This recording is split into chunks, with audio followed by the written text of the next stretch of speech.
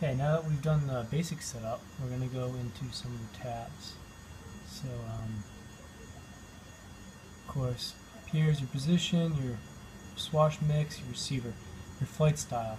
I actually like this a lot, how it's set, but you can adjust it after you start flying. Uh, the more you give it, the more smooth and fluid it feels, the less you give it, the more uh, robotic.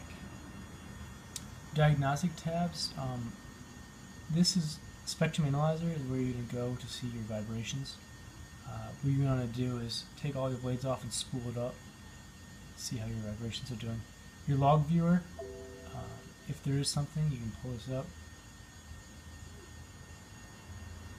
Uh, um, sometimes you get weird errors and you're constantly unplugging and plugging it back in. Uh, I wouldn't worry too much about it.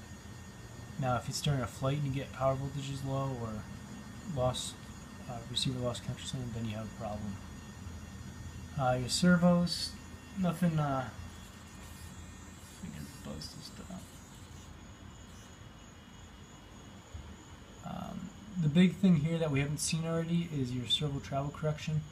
So this is where you're going to go if you need to change your minimum maximum limits for your servo throws limits range, this should look very familiar from the setup tab. And here's your cyclic ring, collective pitch, positive and negative maximum, your rudder endpoints.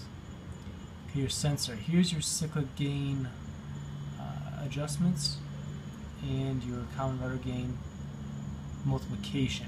This is not where you set your common rudder gain. This is to multiply what you're putting into your transmitter.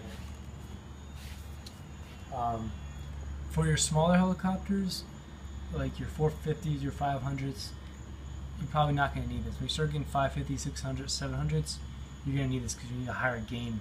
And your your uh, channel is going to be maxed out at 100.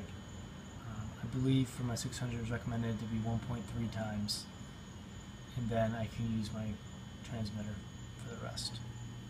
Again, this is to make sure everything is going in the right direction. Always do your final checks after everything's set up. Make sure your swash is compensating in the right directions and your tail is working properly as well.